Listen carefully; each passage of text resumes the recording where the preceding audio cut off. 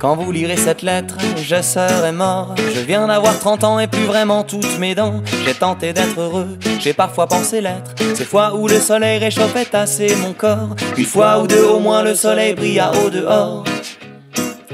Il faut pas m'en vouloir si j'ai pris le large. Moi j'en veux à personne, même si je finis dans une décharge. J'étais trop essoufflé pour continuer. Même en peinture, je ne pouvais plus encadrer mon quartier. De toute façon, mon corps pesait trop lourd pour mes pieds.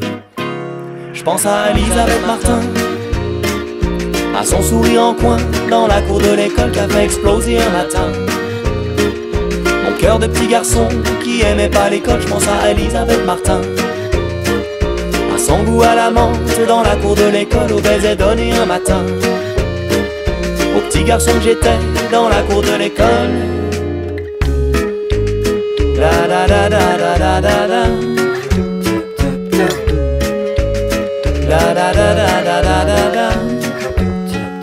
Vous allez vous poser des tas de fausses questions.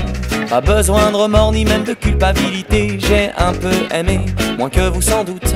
Mais dans la vie, n'est-ce pas faute aimer coûte que coûte? Dans la vie, faut aimer même si ça fait mal et que ça coûte. N'ai pas contrôlé mon histoire, mais j'ai choisi sa fin.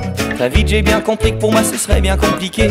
Et maintenant que je glisse dans un sommeil profond, je repense à mes débuts, à celle qui m'a fait croire, pendant un court instant, que la vie coulerait amoureusement. Je pense à Elisabeth Martin, à ses collants en laine, dans la cour de l'école, à nos départs main dans la main.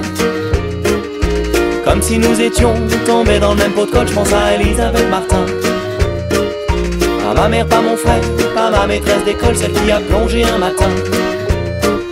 Sa bouche et sa langue dans ma bouche à l'automne.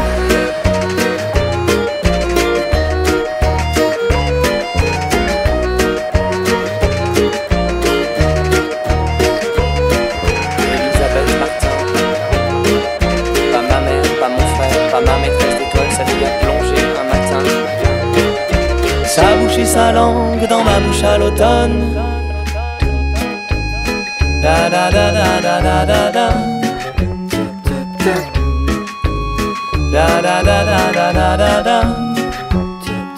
Quand vous lirez cette lettre, je serai mort. Je viens d'avoir 30 ans et plus vraiment toutes mes dents. Quand vous lirez cette lettre, je serai mort.